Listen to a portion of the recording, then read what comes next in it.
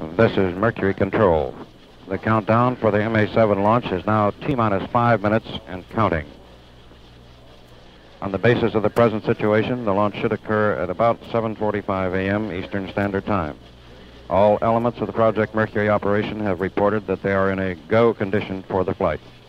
The Atlas, the Aurora 7 spacecraft, the pilot, Scott Carpenter, the launch team, the tracking network, the recovery forces, and now even the weatherman has given us a go.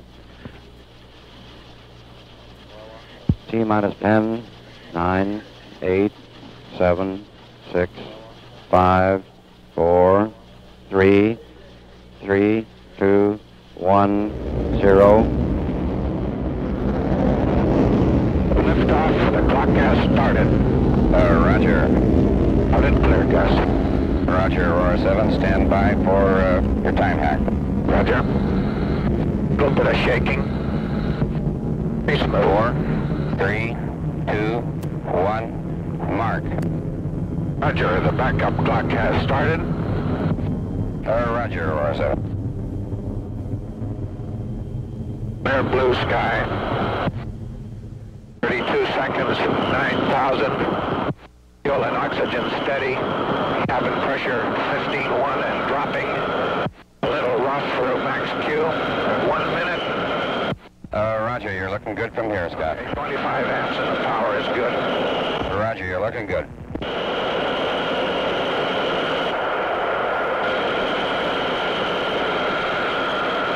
Mark, one minute. Cabin pressure is on schedule. Fuel and oxygen are steady 24 amps. All the power is good. Uh, Roger, pitch is 56. You look real good. Roger, my pitch looks good. Smoothing down a little bit now. Feel the pitch program starting over. Roger. Sky is getting quite black at 1.30. Elapsed. Fuel and oxygen is steady. Cabin pressure is leveling off at 6.2. 22 amps and the power is still good. A 1 CPS sway in yaw. Uh, Roger, understand. Pitch is 37. You look real good. Stand by for staging. Roger, there's BECO on top. And Uh, Roger, understand. BECO. Roger, I felt staging. Do you confirm? We confirm staging. Do you confirm staging? Aurora 7, we confirm staging. Stand by for tower. Tower is way out. It's gone. The light is green. Going over the Pico check now. Uh, Roger, Aurora 7. Go check is complete. Uh, Roger, understand. Pico check complete. Is that correct? That is Roger. Three minutes. Fuel and oxygen are still steady. Cabin is holding 5-8. Power still looks good. My status is good. Uh, Roger, uh, pitch minus, minus two and a half, and you're right on. You're good. Roger, reading you loud and clear, Gus. Ten seconds to go. Okay. There is Pico. The posigrades fired. I am weightless and starting the fly-the-wire turnaround. Box stamp is good. Roger, you look good down here. Periscope is out. And Aurora 7, we have a go with better than 7 orbit capability. uh, Roger, sweet words. Roger. Okay, turnaround has stopped. I'm pitching down. I have the moon in the center of the window and the booster off to the right slightly. Uh, Roger, understand.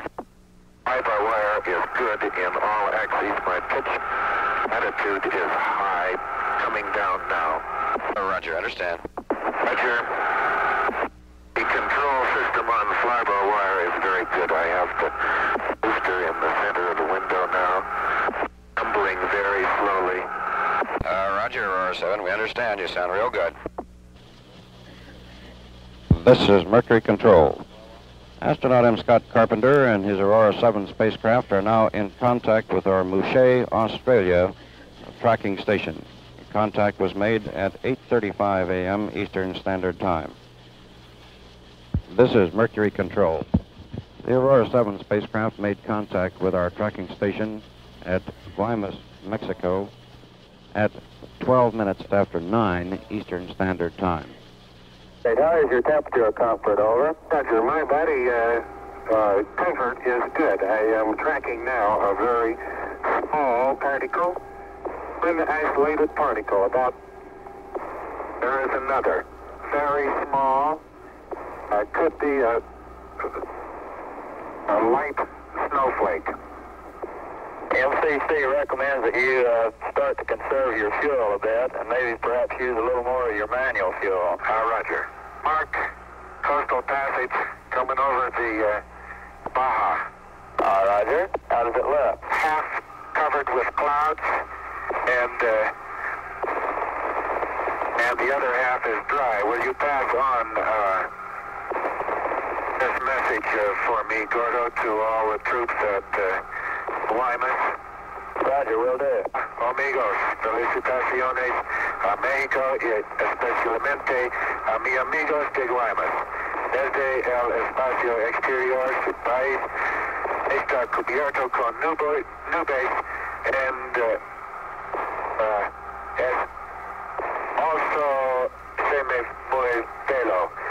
Aquí el tiempo es muy bueno, buena suerte desde Aurora 7. Ah, roger. Muchas gracias, amigo. okay. This is Mercury Control. The Aurora 7 spacecraft made contact with our Bermuda tracking equipment at 9.25 a.m. Eastern Standard Time and at 9.33 with our Canary Islands tracking station. He reports his fuel supply and oxygen supply are approximately normal. We are watching the fuel supply very closely, however.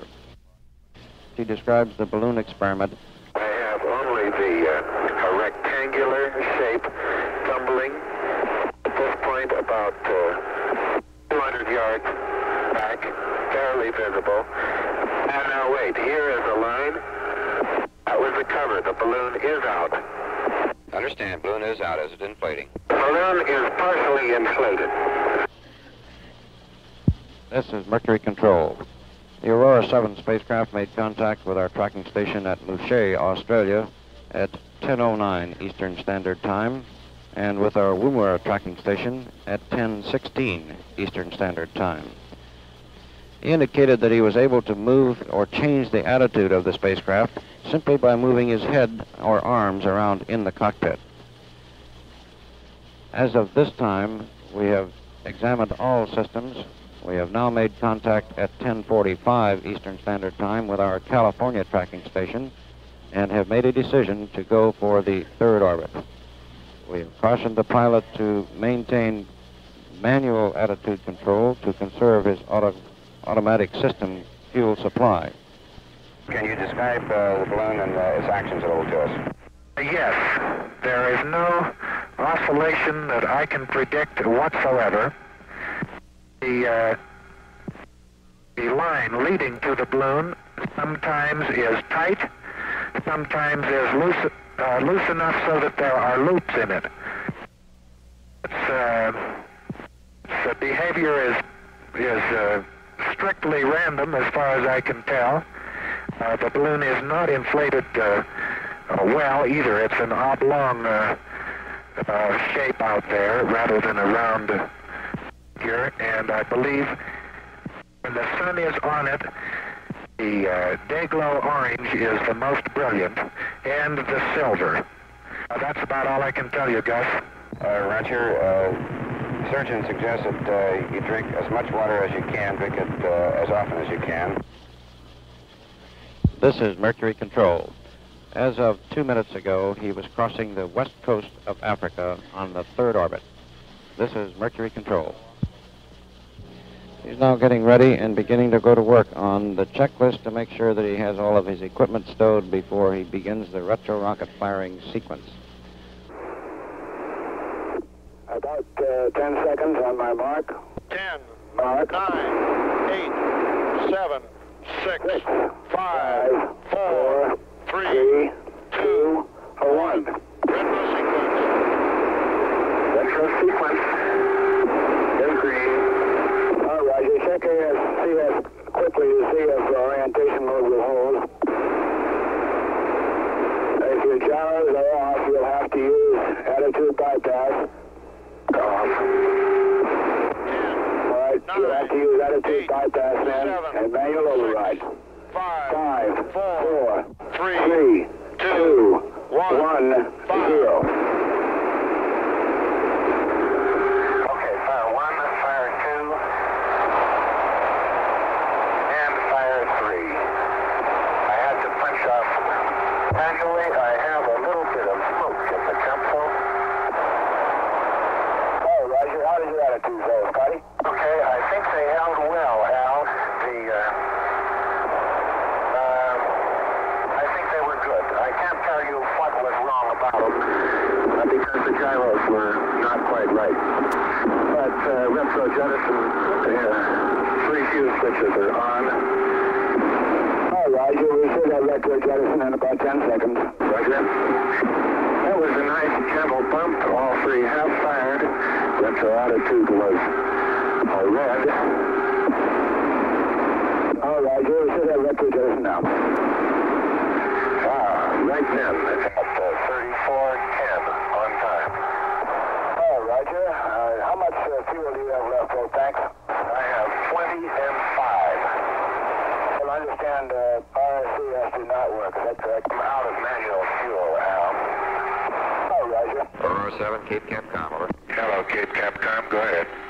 Uh, Roger, do you have your fa- faceplate closed? Negative. It is now, thank you. Uh, Roger, give me your fuel, please. Fuel is 15 auto. I'm indicating 7 manual, but it is empty and ineffective. Uh, Roger. You have about two minutes to uh, start a blackout.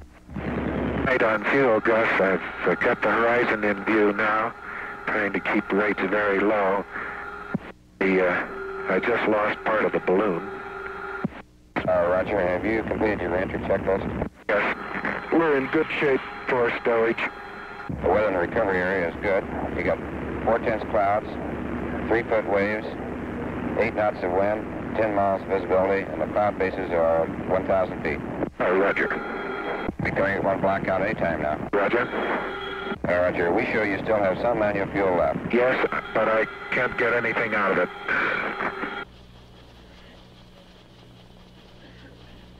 This is Mercury Control. We are attempting to reestablish contact with the Aurora 7 spacecraft. We expect to establish contact momentarily. This is Mercury Control standing by. This is Mercury Control. Our data at this time indicates that it is distinctly possible that the Aurora 7 spacecraft may land considerably longer downrange than it was planned. Our present estimate of his landing point may go as far as 200 miles downrange. For that reason, we feel that his ionization period now is over, but he has exceeded the range of our transmission equipment here at Cape Canaveral. We are diverting aircraft into the area, uh, both for the purpose of reestablishing communications and effecting a rescue operation. This is Mercury Control. This is Mercury Control. We have just received a report through our Recovery Operations Branch that an aircraft in the landing area has sighted the spacecraft and has sighted a life raft with a gentleman by the name of Carpenter riding in it. This now explains why our communications have not been too effective.